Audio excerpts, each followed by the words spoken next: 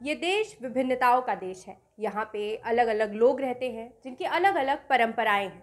लेकिन कभी कभी इन्हीं परंपराओं की आड़ में हमारी महिलाओं के साथ अभद्रता होती है।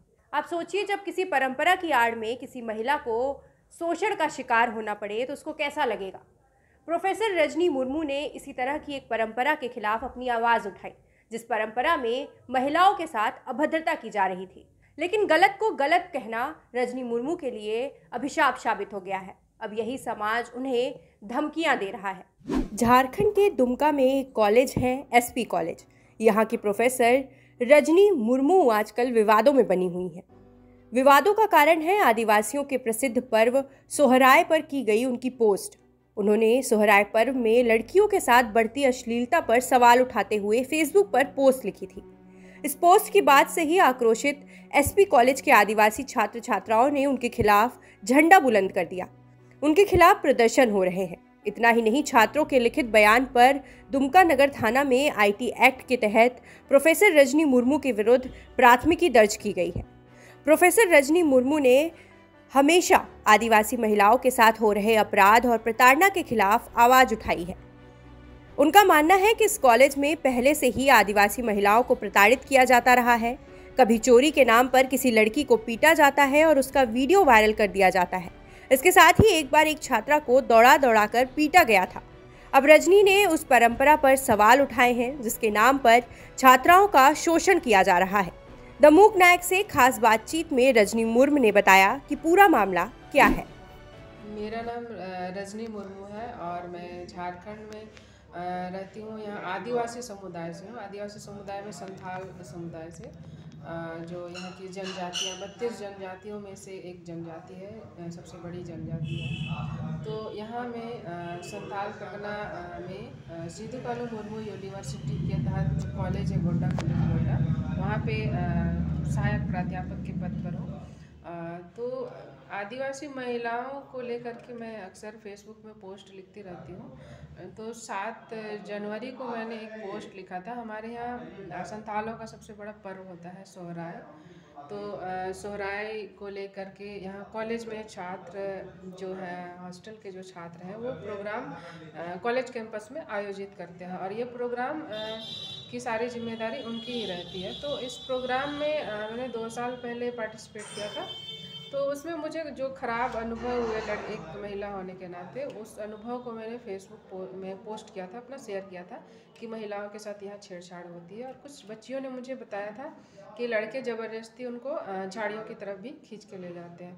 तो ये बात मैंने पोस्ट में लिखी थी और इसके बाद से ही वहाँ के जो छात्र नेता हैं श्यामदेव हेम्ब्रम राजीव बास्की, और राजेंद्र मुर्मू करके इन्होंने मेरे खिलाफ़ वहाँ के दुमका नगर थाना में मेरे खिलाफ़ एक शिकायत लिखी कि मैं समाज के खिलाफ़, उन लोगों के खिलाफ एस कॉलेज के खिलाफ़ अभद्र टिप्पणी कर रही हूँ, ऐसा करके। और इसके बाद वो लोग, उन्होंने वहीं कैंपस में ही, पुलिस कैंपस में ही एक वीडियो बनाई और एक न्यूज़ में चलवाया कि वो लोग मेरा सामाजिक बहिष्कार करेंगे और मुझे नौकरी से भी बर्खास्त करवाने के लिए वीसी मैम को के पास वो लोग धरना प्रदर्शन करेंगे। उन्होंने ऐसा बयान दिया, एक लोकल न्यूज़ में उन्होंने ये बयान दिया। और उसी दिन रात में तीन नंबरों से कुछ लड़कों उन लड़कों ने मुझे फ़ोन किया था और धमकी दी थी कि आप ये पोस्ट डिलीट कर दो, नहीं तो फिर आपके साथ बहुत बुरा हम लोग करेंगे। तो अभी कल वो लोग फिर वीसी मैडम के पास गए थे और उन्होंने मेरे खिलाफ़ लिख के भेजा कि इनके खिलाफ़ कार्रवाई हो, इनको नौकरी से बर्खास्त किया जाए। और वो चूँकि सिद्धू कानू मुर्मू यूनिवर्सिटी जो है, उसमें पाँच कॉलेज आते हैं जिसमें तो पाँचों कॉलेज में आदिवासी छात्रावास हैं और वो लोग सभी छात्रावास से संपर्क कर रहे हैं और सभी छात्रों को भड़का रहे हैं मेरे खिलाफ़ कि हर कॉलेज में ताला लगा दिया जाएगा और मतलब जब तक हमको नौकरी से नहीं निकाला जाता है। तो ये सारे लोग संगठित हो रहे हैं, कुछ छात्र लोग। और मेरे खिलाफ वो लोग उग्र वीसी मैम पर वाइस चांसलर पर मतलब एक तरह से दबाव बनाने की कोशिश कर रहे हैं कि मुझे नौकरी से निकाल दिया जाए। नहीं निकाला जाता है तो सारे कॉलेजों को, कॉलेजों में ताला लगा दिया जाएगा। ये उनका आह्वान है और कई थानों में मेरे खिलाफ उन लोगों ने शिकायत दर्ज करवाई है।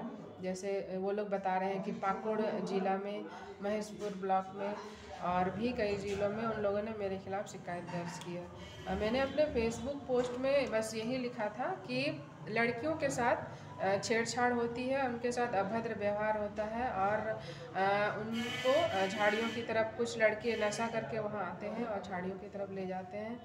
और यहाँ का जो आयोजन समिति है छात्र जो आयो, आयोजित करते हैं वो इस चीज़ को नज़रअंदाज करते हैं। यही मैंने लिखा था। इसके बाद से ही सारा बवाल हुआ और फेसबुक में कुछ लोग मुझे गंदी गंदी गालियाँ दे रहे हैं, मुझे समाज विरोधी घोषित कर रहे हैं। जबकि मैं खुद आदिवासी समुदाय से हूँ, संथाल समुदाय से हूँ, मेरा नाम रजनी मुर्मू है। और जो लोग मेरे पर आरोप लगा रहे हैं, वो भी खुद संथाल ही है। प्रोफेसर रजनी मुर्मू को गलत को गलत कहने की सज़ा मिल रही है। उन्हें लगातार धमकियाँ मिल रही हैं। इन धमकियों के बीच में लगातार सोशल मीडिया पर उनके सहयोग में आवाज़ भी बुलंद हो रही है। लोग उनके खिलाफ, हो रहे इस एक्शन के खिलाफ आवाज़ उठाने की मांग कर रहे हैं। इन सभी के बीच सवाल बस इतना है कि आखिर कब तक इस परंपरा के नाम पर और प्रथा के नाम पर महिलाओं के साथ अभद्रता जारी रहेगी। उम्मीद है कि परंपरा और प्रथा के नाम पर जारी इन कुरीतियों पर जल्द से जल्द लगाम लगेगी।